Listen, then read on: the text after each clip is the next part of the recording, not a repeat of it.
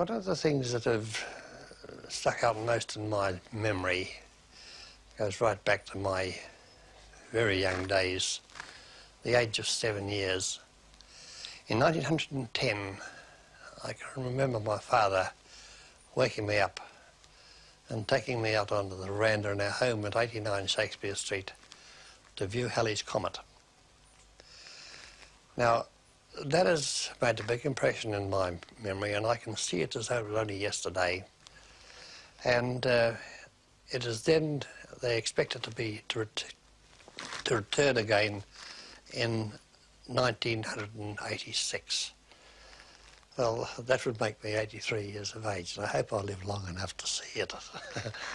it was a, about the year 1865 when the boat Christian Sands left Australian ports for the old country. Due to storms in the Tasman, they were blown over to the west coast. They arrived at the mouth of the Teremakau, that's the river between Grey and Hokitika. They came into the Teremakau, one of the few boats that ever got in there, and went into the lagoon on the south side. They went right down to the bottom end of the lagoon, which would be a mile or so down. Overnight and over the next couple of days, terrific storms and west coast weather at its worst came up, and down came debris and mullock and so forth from the Serpentine Creek, which blocked that lagoon. Therefore, the Christian Sands was landlocked. The people then had nowhere to go. They couldn't get it out. They only had shovels. They couldn't dig their way out for the boat, so the Christian Sands stayed there. And it is there to this day.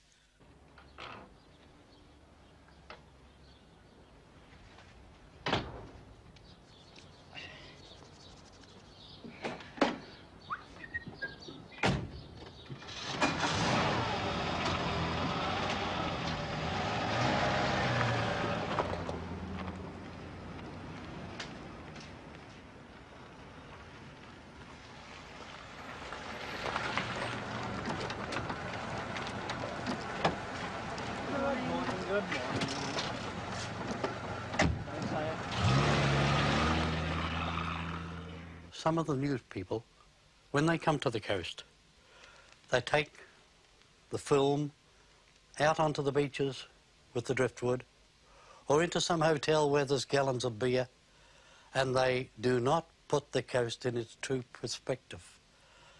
The coasters do not, only very, very seldom, perform like that. But we are forever shown as being either in a hotel where there's gallons of beer and singing round an old piano with voices that would crack a kerosene tin, or out on a beach where there's a few hippies with driftwood. That's not the coast at all.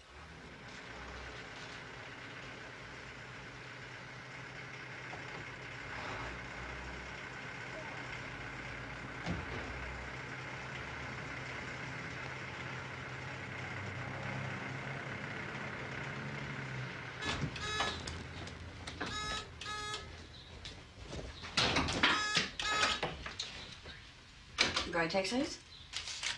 Yes. Yes, you come to work. Rightio. All right. Car in Cobden? Front car. 24 Peel? And whereabouts would you like to go? Just down to the post office. I don't know. It's not pension day, is it? Is that right? No, no, you don't bother with the pension. You don't bother with the pension? Don't get the idea that we're rich because we're No, no. Well, this is it.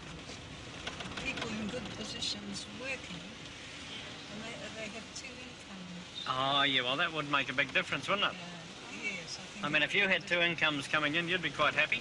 Yes, right. Oh, maybe you'd be unsatisfied with one. You'd be able to get a taxi every day of the week. Hello, love. You want your money? This is Marilyn to tell you lots of funny things. Come on, Marilyn. No, I've got to go. I've got the dog in the car. You. Goodbye, Gloria. They're frightened.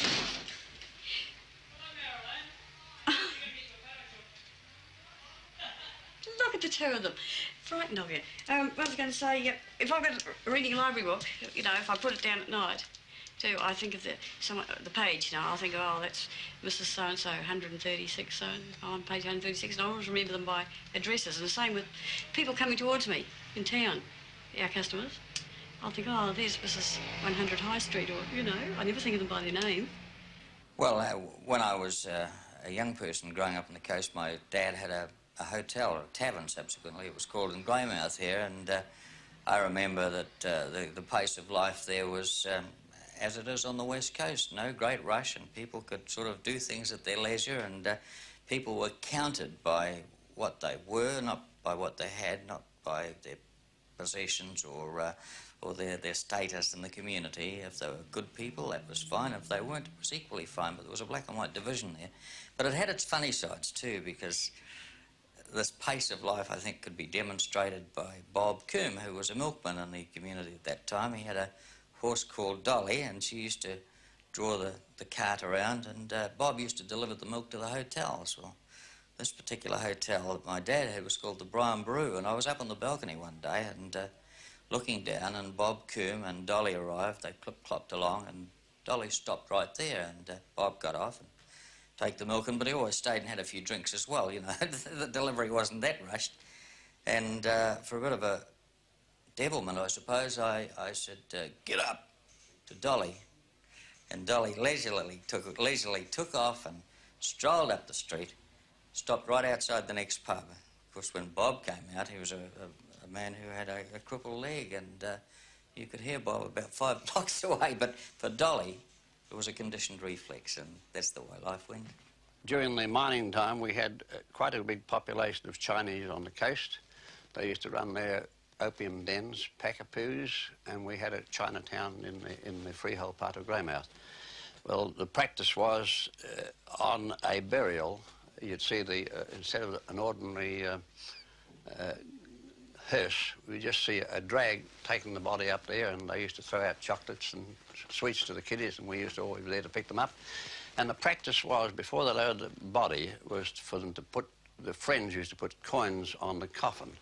What for, I don't know. But however, there were particularly popular Chinese one, on one occasion being buried, and instead of coins, there were pound and pound notes and five pound notes, and a lot of money, something approaching a hundred. One bright fellow uh, uh, amongst the crowd, he thought, no, you can't see this going down, and uh, he went to the um, he went to the chief mourner and said, look, he said, I had the highest regard to this poor old chappie. He said, I'd, I'd love to give a decent donation uh, on the coffin, but he said, I'm short of, uh, I've got no ready cash on me. Now, he said, there looks to be the thick end of $100, 100 pounds on the coffin now. What is the day that I take the money and give you my cheque for 100 and that can down, which happened because his cheque went down and he pocketed the money and shot off. And you weren't troubled with the floods this time? Hey, well, the floods moving on them were down, but uh, it didn't even come in the yards. Oh, that was good though, wasn't it? Oh, and the time before, you know, five days before that, it come up to the back step. Oh, Not on it, just touching it. Oh, oh. you'd have your fingers crossed that night. well, the kids stayed till 10 o'clock this week. Just in case? Yeah. Uh, well. And I took a sleeping pill. If the tide come in, it could come in. You reckon?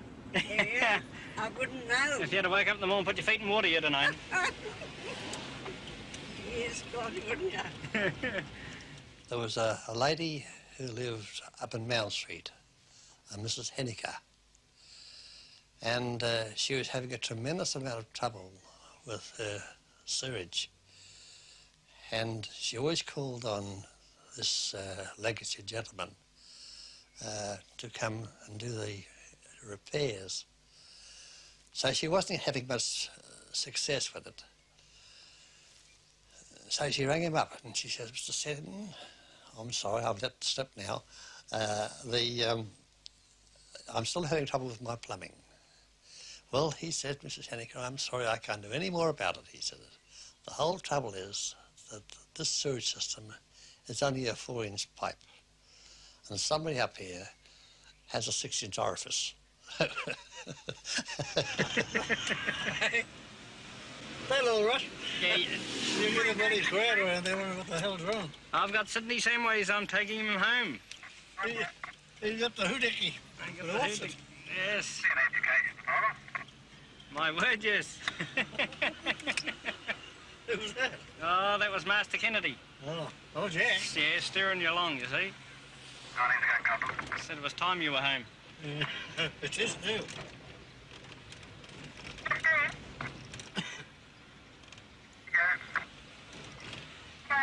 Ah, oh, dear. And what have you been doing downtown this morning, Sid? Oh, the, the, the come up and had a look at my telly. Oh, yeah. Picked it up, took it away. Had it for an hour and three, an hour and 20 minutes. And I got a bill of $40, 41 cents. Yeah? Yeah. I said, I'll give you the 41 cents, right? He said, oh! He screamed like a b- Thought Oh, they're good people, though. Ah, you stirred him up, did you? Those he glared at. He glared at me. Harrison, he's up here, know. Is he? Dr. Harrison. Oh, yeah. I hope you haven't been telling him them stories. I'll tell you what, we'll have him educated before he leaves. You know the fastest thing in the world on a push bike, Sid? Well, the fastest thing in the world on two wheels. What? The Pope riding a push bike through Belfast. oh, yeah. It's a long way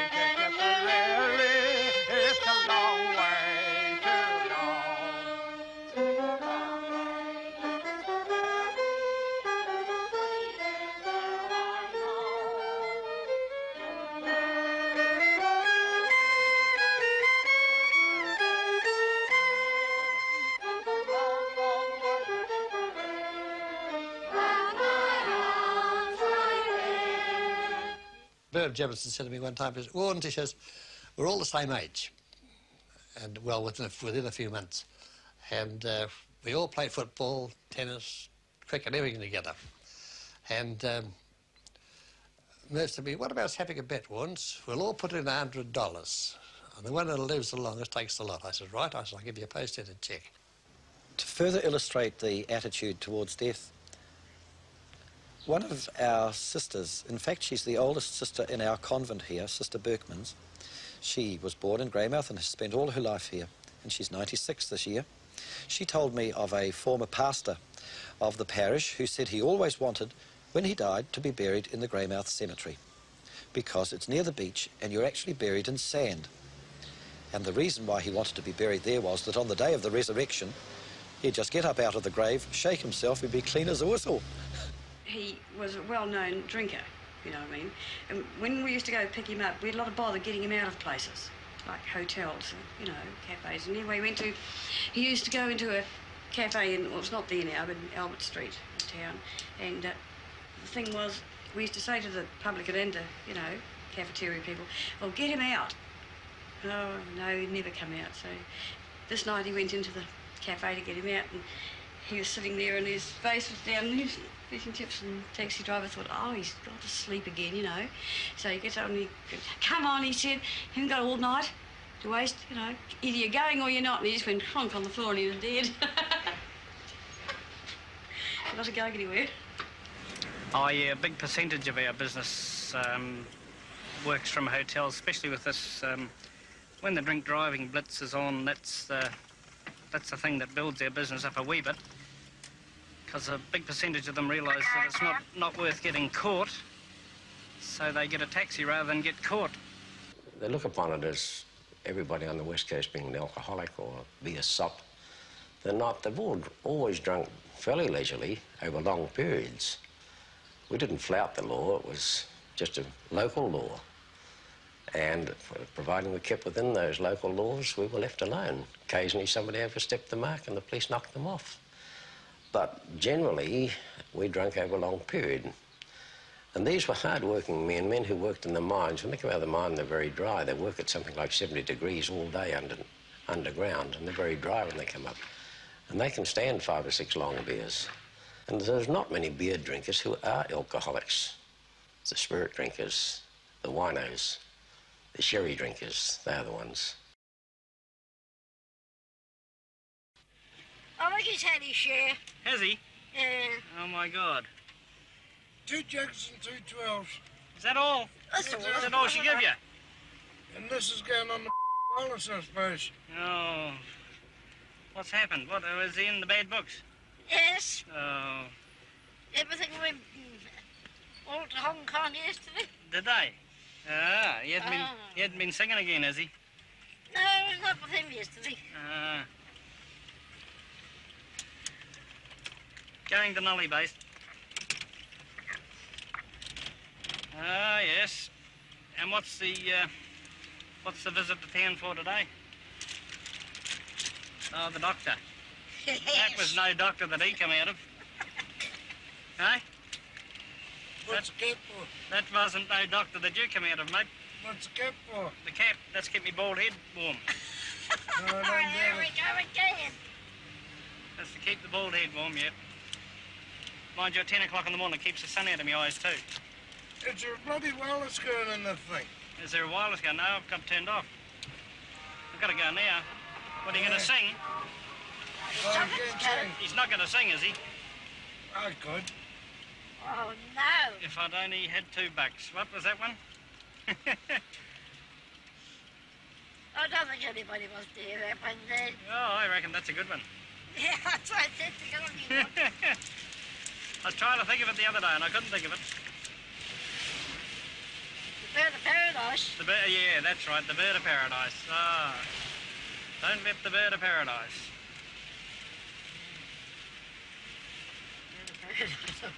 And he sang that for a couple of days.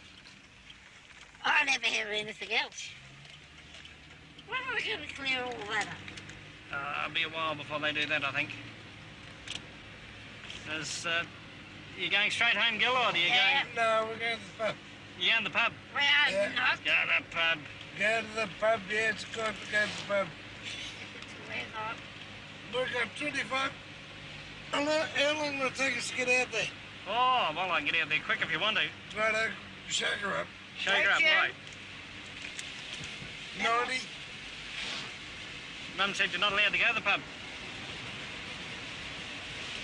Did you say that? I didn't. I still say it. Not even for one. No. Huh.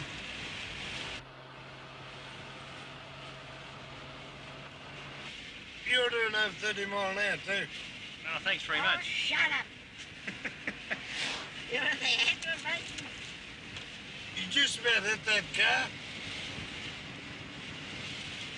Any more? Just ignoring you. wonderful Just girl. ignore him. Just ignore him. I'll put him in the Five boot. bucks, dear. No. Oh, I think she said no, Gil. oh, I think so, too. Have it in for one barrel. Oh, I don't think I better. I'm working. What, what's that uh, wire up the back of your head for? Oh, that's. I've got a short circuit in my head and my brain. Yeah, you got that wrench. You don't have to be mad to drive a cab, but it No, I helps. know, but it helps. Yeah, it helps a lot. Yeah, What a beautiful little township this is. it's lovely. Well, the bus is still here. Yep. Oh, I think we'll miss that, won't we? Only Come give him. on in, dear, and have a vodka. Only give No. him. Only give him Bloody sixpence. vodka. You, I'll bring one out. Only give you him bring it sixpence. out and I'll throw it out. Now, let's just finish with you, fella. One beer. One beer. He's a bad boy, isn't he? Yep, yeah, reckon when he gets this far. I'm better if I can do anything with him. Oh, I think you would have won if we'd have gone straight home. I don't think he would have argued too much.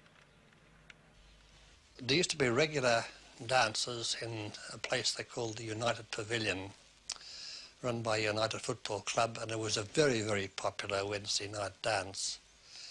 You started at 8 o'clock and you had every dance and right through until midnight, 1 or 2 in the morning. And the fancy dress balls were just out of this world.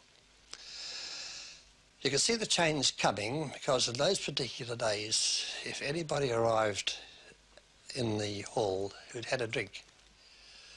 No girl would dance with him.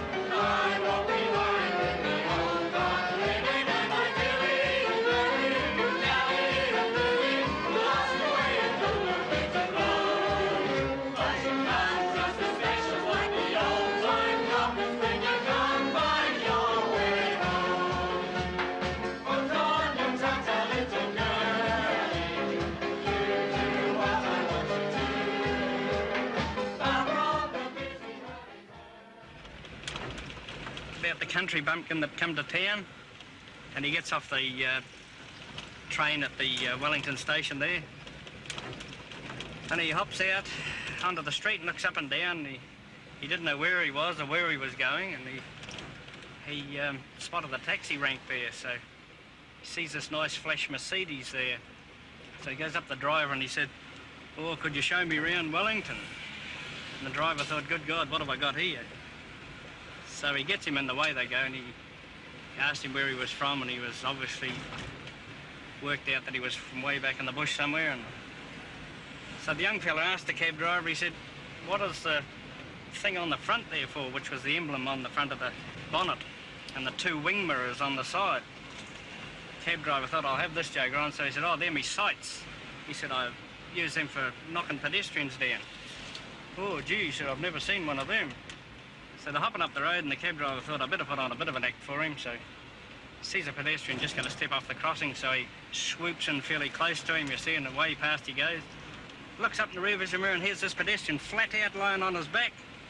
He looks at this joker, the passenger he had there, and he says, good God. The passenger said, you'll have to get your sights fixed. He said, if I hadn't opened the door, you'd have missed that one.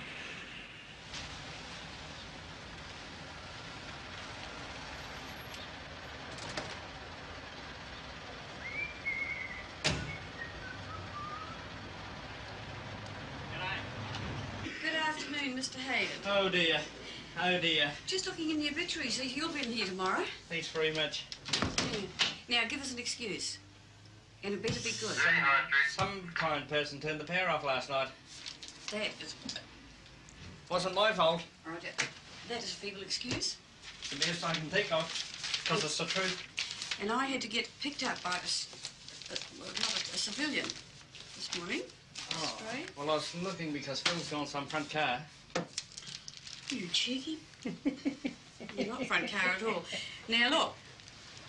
If I hadn't rung you up, what would you have done? I'd have been still in bed. Well, it's a bad example, eh? Yeah, I know. I know. It's terrible. Eh? Only trouble is that the wife with me. I was mad with you. What do you think I was? My head was going round when I jumped out of bed that quick. I couldn't believe it. I'm taking. I'm trying to count to ten before I even answer. I counted to ten before I said good afternoon to you. Hmm. You've got a nice bright But you can imagine what it was like. I'm laying there half asleep, and next thing I just turned the alarm off, and next thing the phone goes, and, And- this voice snaps over the phone, aren't you coming to Bloodmore pick me up? And I looked, I was trying to get me wits about me because I looked at the clock and I thought, she's mad. It's I 20 was mad, past, all right. It's 20, 20 past six and she's ringing me up. I have been waiting on the corner since ten past seven. On the you, corner. but you know that I'm never late for you. Not that late. I've never been that late in four years. John, it is five to eight. You are that late. Yeah, I know. Eh? Almost an hour. Lovely. You're lovely, all right. I Bad enjoyed example, the sleep in. bad example. I didn't like getting woken up. Well, how, uh, I'm going to put in the, in the booking pad for to ring you at six in the morning. Thanks very much. Eh? My alarm was set for 20 past six. You were one minute late. It was 21 minutes past six when you rang. It was at hell. So that means it was 21 minutes past seven. That's just not good enough, John. Righto. Not good enough. You can have me resignation. We've already done it for you. Oh, good. That means I can go home again? No. You're relegated to the parcel brigade today. Yeah, I thought it might be. Phil was insulting about you. Was he? You're horrible, wasn't That's he? unusual for Phil.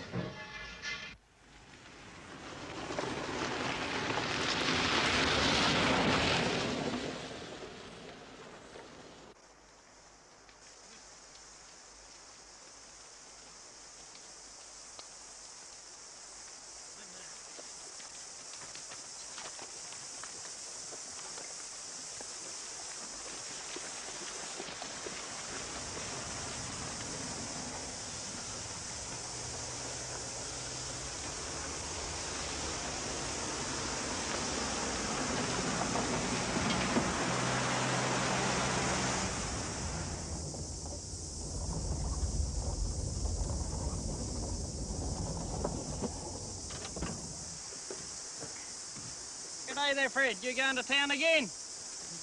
Yeah. There's a big spare across the road there one night. Good. Big cloud around tonight, John. They gold miners, these people. Gold miners, yeah, that's right.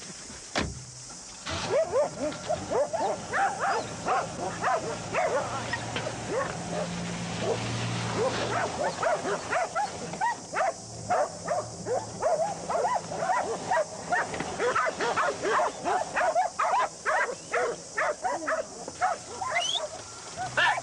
Get him behind!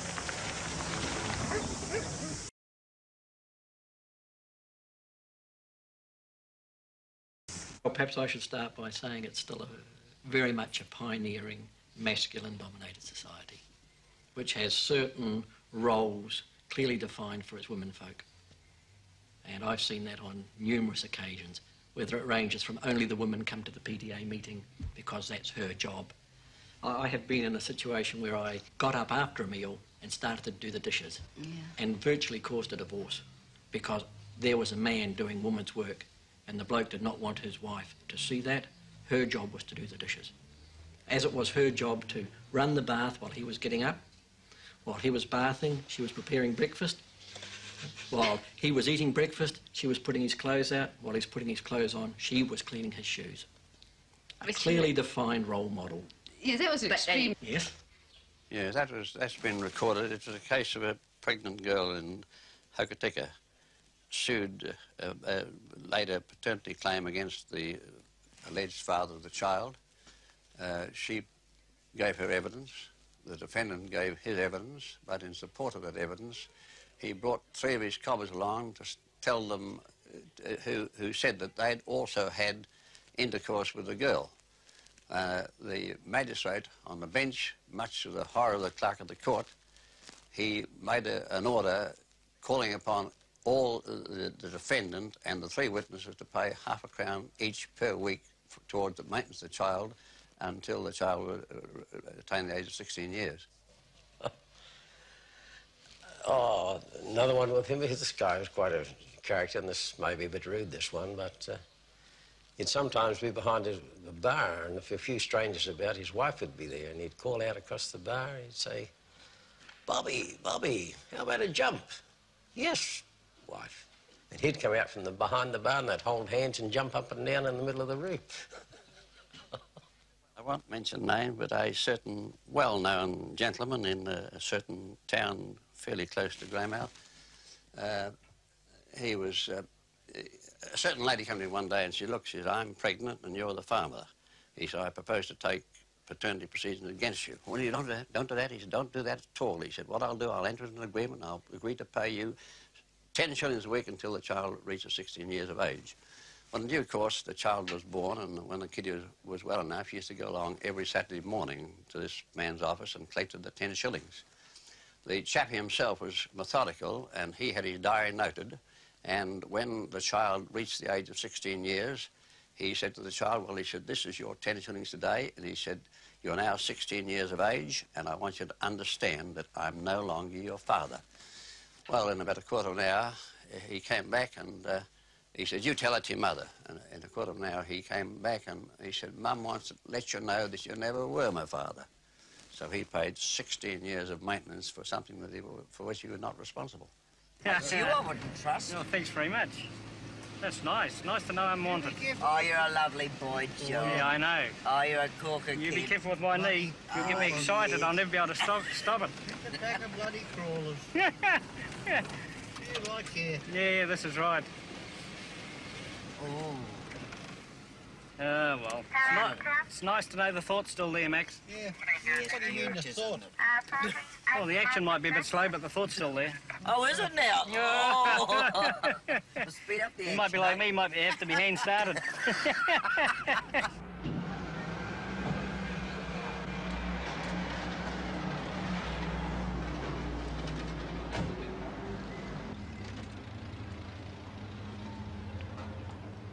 How are ya? About time they rang up, didn't you?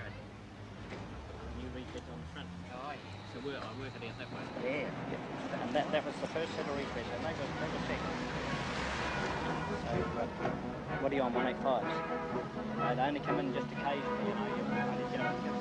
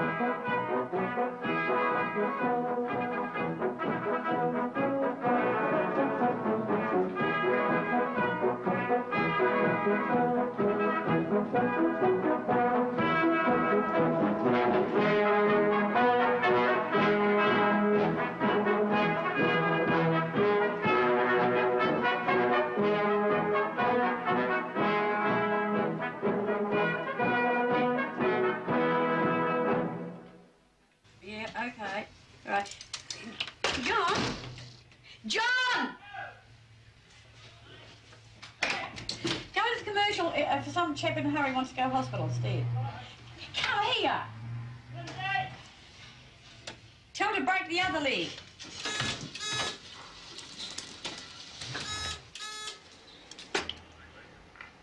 Roger, tw- 19, go taxis. Yeah, just coming to town, is it? Right, okay. Bye, bye. Uh, you back in town 30? Cobden Hotel, a parcel for Mrs. Urine to go to 53 Third. Have you had a good day? Um, yes, actually. Better than expected. Ah, well, that's not so bad. Right. How did your holiday go? Holiday's been great. Did I tell you about it? When? No, I haven't seen you since you come back. Only as passing past. I don't think I've picked up since then. I was just one of the other boys then, because uh, I ended up on the Kaimanawa. Forest Rangers. Oh, yeah, yeah. Um, went touring up there. Um, flew from Hokitika to Wellington. Night there, saw the fern to Ohakune.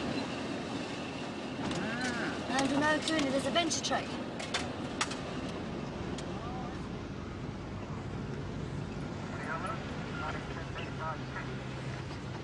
Yes, we're away.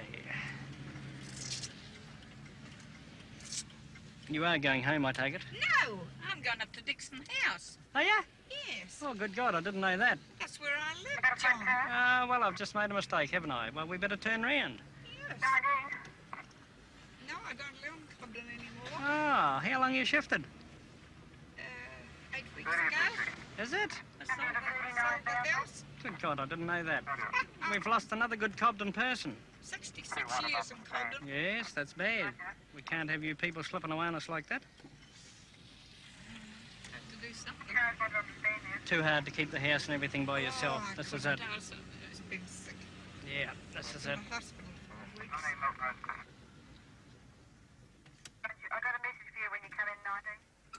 How you going, Barry? Drunk? Drunk? Oh, well, you're allowed to be, I suppose. I don't know what Mother will say when you get home, but never mind. You'll face that when you get home. That's right. And what's the excuse? If I am a radar. Yep. Mm. What's the excuse for being You're on the the grog today? way. Hey, where you going? Six. You going to Cobden, aren't you? Who's him? You going to Cobden? Who's him? Oh, he's just a mate of mine. Might be J-Man. That's good. Mike, how are you? A pint. Yeah, Mike. Mike. Oh, Mike. Pleased to meet you, Mike. I drank. Whereabouts are you going, Barry? Six. Six. Six what? Twenty-six. Six. Hey, going home. Over the river.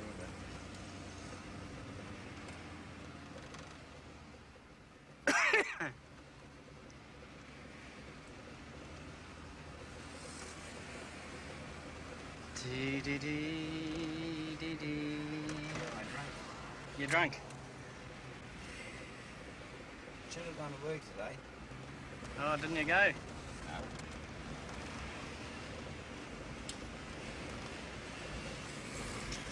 I can give your boss a wave as you go And past. Five years at first, I got to drive a truck down here tonight. Where to the fair? Yeah, and prayed. You'll have to go home sober up a bit, mate. Not tonight, mate.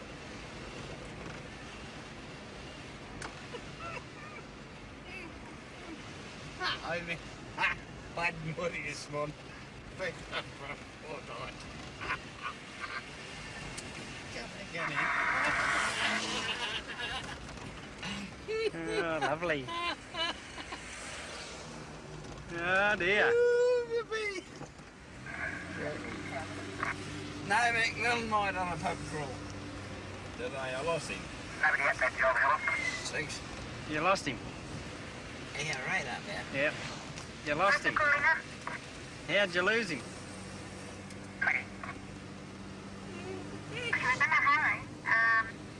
Which store are you at? Oh, well, I don't think you'll be driving that truck to the fair, mate. Well, yeah, it's like good job and have a look at it. Yeah, do a wrap around. Do a wrap around the block. Yeah, do a wrap. Yeah, you reckon? No, block. Don't like patching. What were they patching? Well, I went to work this morning. We take bank card. Yeah, bank cards. Bank cards are specialty today. Have a drink. Haven't got time, Barry. Got to go to work. That's my first job for the day. Got a dollar. Have you got a dollar? Yeah. Is that all you got? I could find some more. Oh, well, you might find me 230 if I'm a good boy. Well, I asked you. You did too. You asked me nicely. Well, I want to stand up.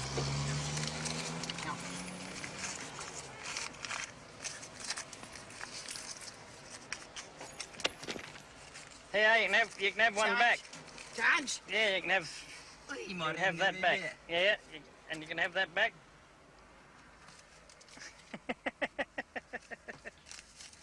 Thank you, sir. All right, take it. Take it quietly. Don't drive that truck tonight.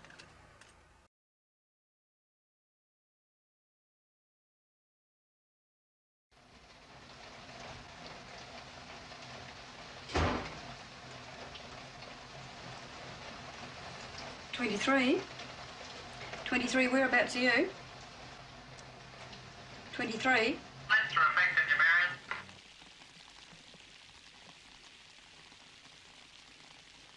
I've listened to what the coasters have said about the weather, and I've genuinely looked at the rainfall figures that they've provided and listened to their arguments that it's nowhere near as bad, but I've reluctantly accepted that it's pretty wet here.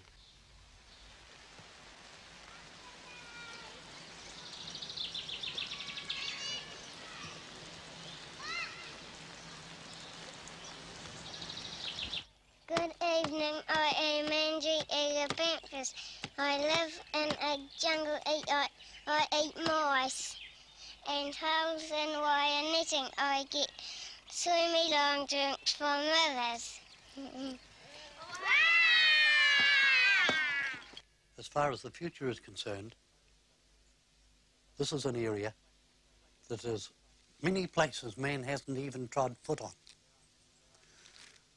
There are minerals in a great number, the length and breadth of the coast. One can go in a plane into southwestland and near sunset photograph the red hills and they will come out red on your colour photograph and they're red with copper. When I first took over the mayor, they closed the mines, all the state mines. Tom Shand came and said, you've got to have faith and guts. And we did. And I told them that the last wave had gone out and it was going to come in and we were coming in on the crest of the wave. And we did. They said that the shops would close in the town and we would only be able to support three quarters of them. Neighbour was going away, the furthest neighbour would be going away.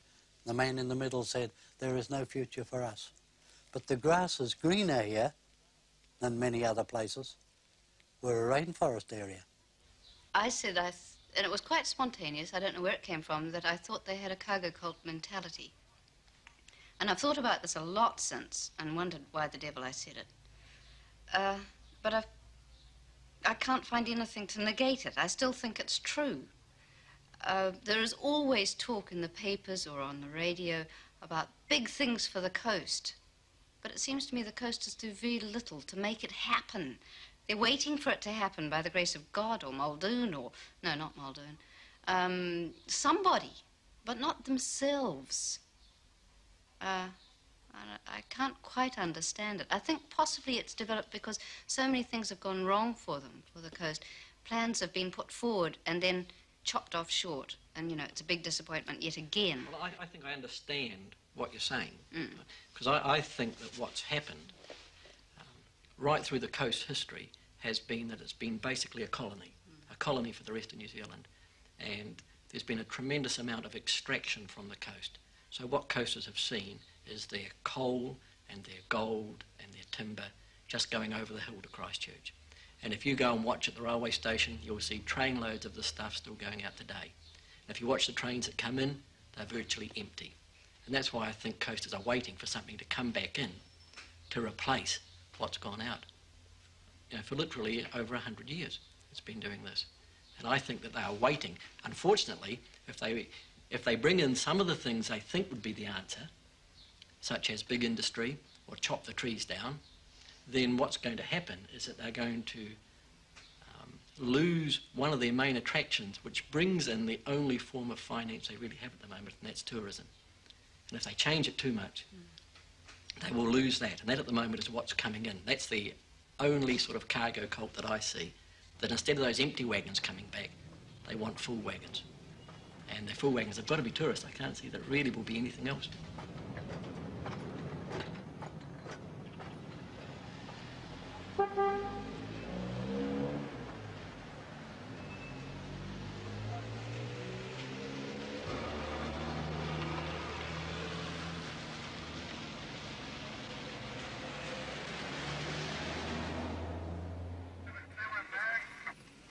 Yeah, now the weather problems, well, the rain's bad enough. We, as you know, we get a, quite a bit of heavy rain. But um, the worst problem that we have on the, around the coast here in Greymouth and outlying areas is the fog that we run into. Uh, you strike fog going to Runanga and also up, if you go through to Taylorville up to Blackball, you'll strike fog very thick up that way. And this does disrupt things quite a bit. You're well down in your speed. You've got to bring your speed right down to a sensible speed, which is sometimes down as just about you've just about got to hit low gear. Timmy,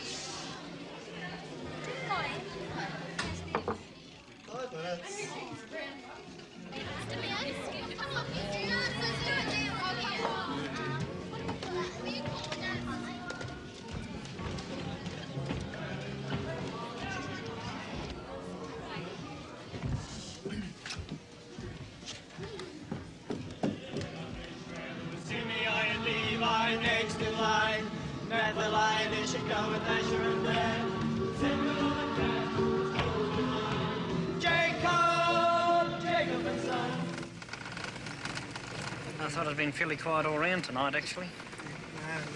Oh, it's got a bit up the reek. Yeah. Yeah, then we went down the Eagle. Has there been any music around? That's the Golden they... Eagle, Ah, yeah. We went there and had some chips. Ah, not so good, weren't they? Not very good, no. Then we had an argument with some cops over here. Oh, that's bad. Mm, They thought we were trying to sneak in the door. Look out, they're in front of us. Uh, we'll try not to run them over. Look out, the gates again. See the old boat in there? Yes. It's pretty rusty, isn't Yeah, I'll say she needs a bit of a paint up. Mind you, that's the first boat we've had in, what, for about three years, is it? it? Yeah, no, I thought she was Japanese. No, well, it could be, but it, I, I only know that it's travelling to Fiji. Yeah, I noticed once I seen the portholes. I thought I knew she wasn't Japanese once the portholes weren't slanted. Ah, yes, oh, very good. We'll give you a win there.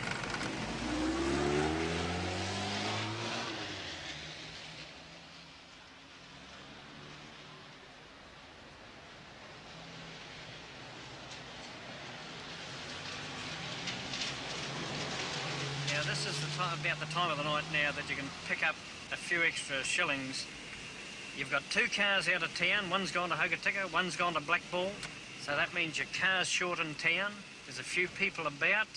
So if you can just lift your speed up a wee bit without getting too silly about it, I mean, you don't break the law too far. And this is the time that you can make up that extra few shillings that you've been missing out on during the day.